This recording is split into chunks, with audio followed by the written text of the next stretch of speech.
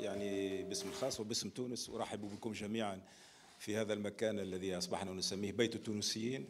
تعلمون كان قلعة مغلقة يعني كانت قلعة مغلقة ومحاصرة. الآن إحنا بعد الثورة المباركة أصبح بيت مفتوح لكل التونسيين لكل التونسيات لكل العرب بطبيعة الحال لكل الضيوف. ويعني نأمل أنه بعد هذه الثورة تتغير صورة الرئاسة وصورة الرئيس. وأن ندخل يعني في في منظومة فكرية جديدة. أنا سعيد أيضا بوجودكم لأنه كثير من الوجوه ليست غريبة علي. أصدقاء منذ أكثر من عشرين سنة. تعلمون أنني كنت يعني عضو في هذا المؤتمر. المفروض أنني لازلت حتى الآن عضوا فيه. آه.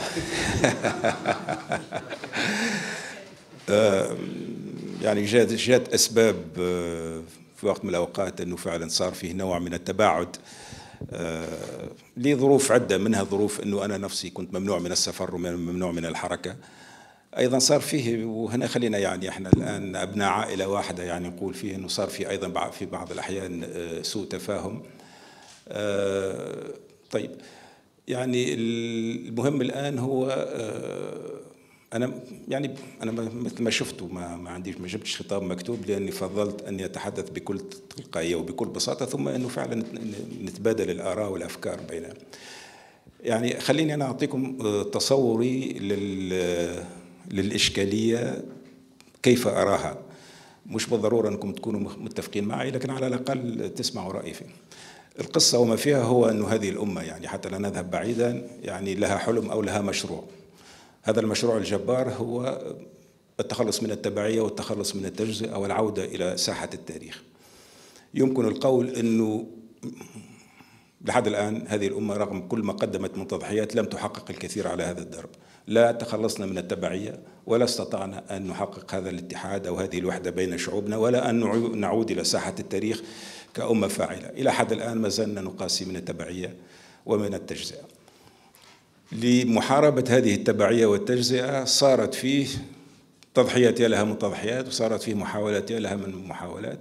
ونحن العروبيون على الأقل حملنا هذا الحلم أكثر من يعني أكثر من هذا من قرن.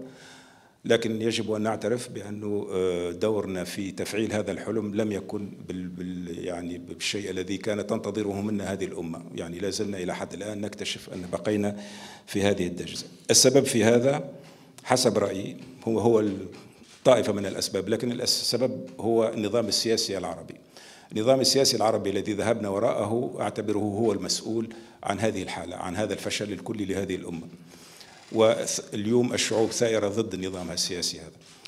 الشيء اللي اكتشفناه هو أيضا هو أن الاستبداد سواء كان باسم الوطنية أو باسم القومية أو باسم الإسلام هو دائما نفس الاستبداد أنه يؤدي إلى المأزق التاريخي الذي وقعنا فيه.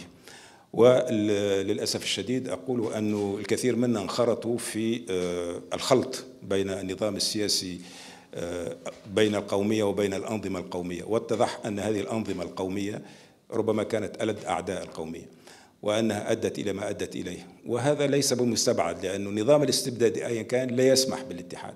وهذه الغلطة الكبرى التي لم ننتبه إليها هو أن كل مستبد يعتبر أنه بلاده مزرعة وهو ليس مستعد لفتحها. على وبالتالي اليوم ما نراه اليوم من الثورات العربية هي أنه تواصل الحلم لكن بكسر القوالب الجامدة التي دخل فيها هذا الحلم.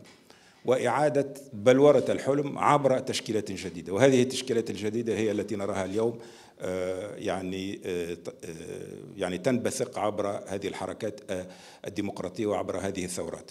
وبالتالي فإن تصفية الاستبداد ومنه الاستبداد القومي أصبح ضرورة لتحقيق هذا الحلم. و عفوا من لم يفهم هذا لم يفهم التاريخ لأنه فعلا ما اتضح بالكشف أنه مثلما يعني المستبدون استعملوا الإسلام مثلما استعملوا الوطنية استعملوا أيضا القومية وكان المستبدون ألد أعداء الإسلام وألد أعداء الوطنية وألد أعداء القومية. اليوم الدرس الذي نراه في سوريا وفي والذي رأيناه في ليبيا والذي رأيناه في العراق هو أن هذه الشعوب لم تعد يعني تنطلي عليها هذه الحيل وأن الممانعة شرط ضروري ولكنه ليس كافي وأن الوطنية دون مواطنية لا قيمة لها. وأعتبر أنه إحنا يعني العروبيون الوحدويون. يعني حافظنا على هذا الحلم في أصعب الظروف وفي أصعب يعني في أصعب الظروف التاريخية ولم نتخلى عنه للهروب إلى الإقليمية أو الهروب إلى أي شيء. وبالتالي نعتبر إنه إحنا كنا أنتم بأنكم حافظتم على هذا الحلم رغم صعوبات المرحلة أديتوا دوركم الكبير. الآن الدور هو أنه إعادة ترجمة هذا الحلم إلى لغة جديدة إلى لغة سياسية جديدة. وهذه اللغة السياسية الجديدة هي الأنظمة الديمقراطية. علما وأن الأنظمة الديمقراطية ليست بالضرورة أنظمة وحدوية. إذا يجب أن نعمل على أن هذه الأنظمة الديمقراطية يعني نبث فيها هذا الهاجس أو هذا الحلم الوحدوي حتى لا يعني لا تؤدي الديمقراطية إلى مزيد من التجزئة وليس إلى ما ننتظره منها من اتحاد. إحنا هنا في تونس وهنا أعود إلى الأمور العملية آه، يعني قمنا بهذه الثورة ولم واعتبرنا منذ البداية أن البعد العروبي يجب أن يكون جزءا منها.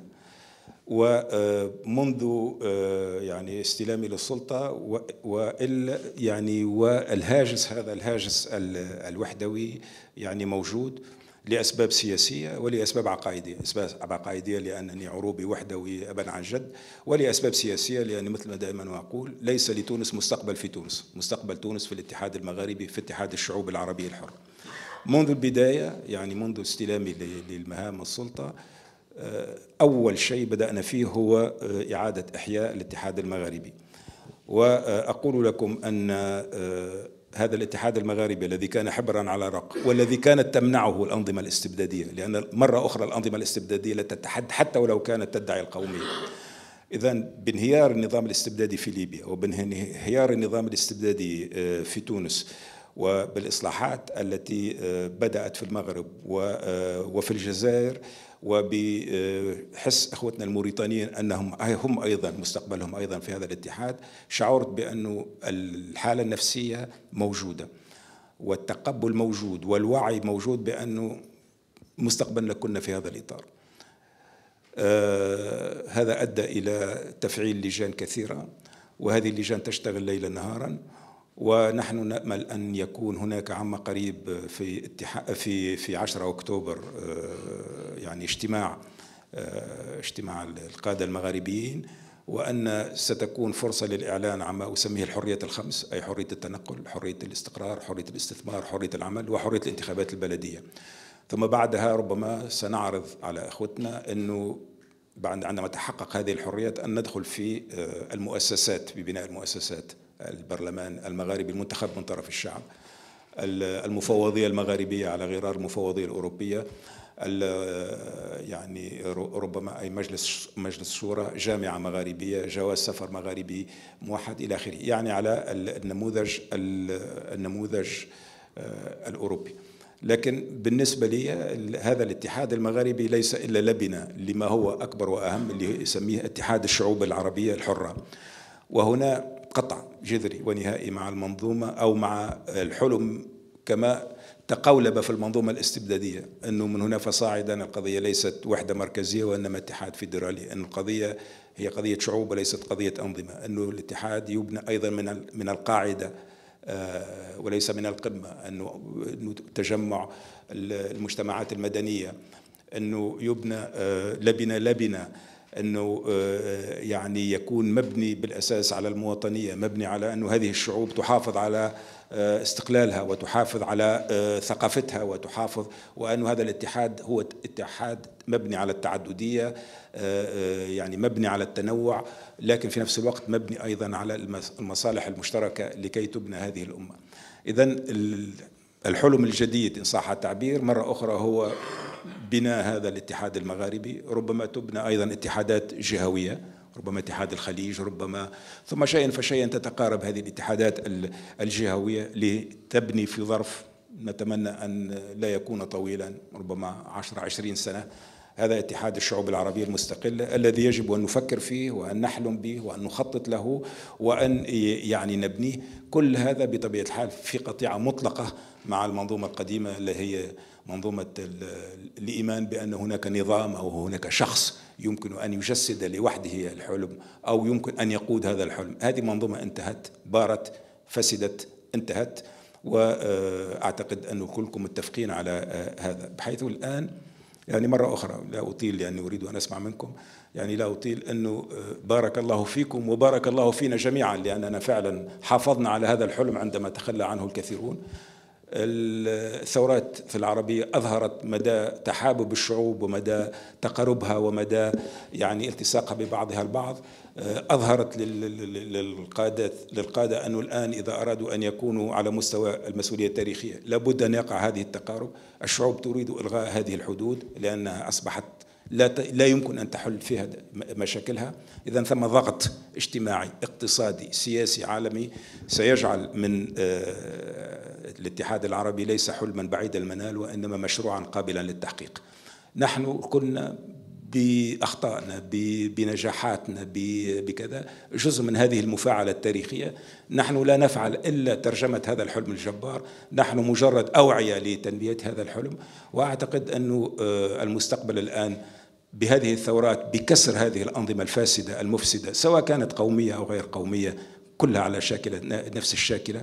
أعتقد أن المستقبل الذي كان مظلما وكان يعني منذ سنة كان هناك حائط هذا الحائط كسر ونحن الآن لأول مرة نرى التاريخ أمامنا والمستقبل أمامنا. إذا مرة أخرى بارك الله فيكم وبارك الله فينا جميعا لأننا لم نتخلى عن الحلم الجبار والآن يجب أن نعيد صياغته في عقلية أخرى في ذهنية أخرى في تشكيلات أخرى في سياسة أخرى وفي كل المطاف أيا كان المكان. واجبنا أن نفعل من أجل تحقيق هذا الحلم. ثقوا على يعني كونوا على تم الثقة أنني في هذا المكان يعني الذي أوصلتني إليه الثورة يعني لن أدخر وسعا وسأقوم بكل واجبي بحيث أن هذا يعني دفع هذا القطار في أسرع وقت ممكن لتحقيق هذا الحلم الجبار. مع العلم أنه مرة أخرى القضية هي قضية أجيال قضية يعني يجب أن نربي الأجيال الجديدة على نفس المشاعر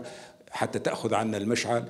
وحتى إذا أصيب يصبنا بنكسة أو بتأخر كذا المشروع يتواصل إلى أن يتم تحقيقه لأنه ضرورة من ضروريات التاريخ.